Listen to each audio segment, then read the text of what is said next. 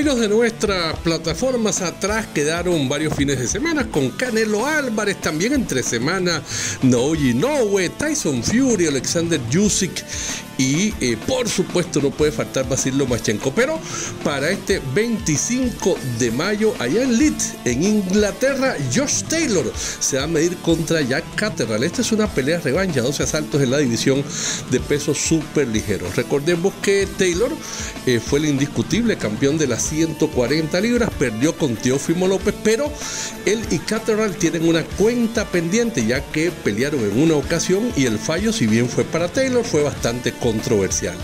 El 25 de mayo en Copenhague, en Dinamarca, una pelea de campeonato. Dina Torslund contra Seren Setin a 10 asaltos por los títulos de peso gallo femenino del Consejo y de la Organización Mundial de Boxeo de Torslund.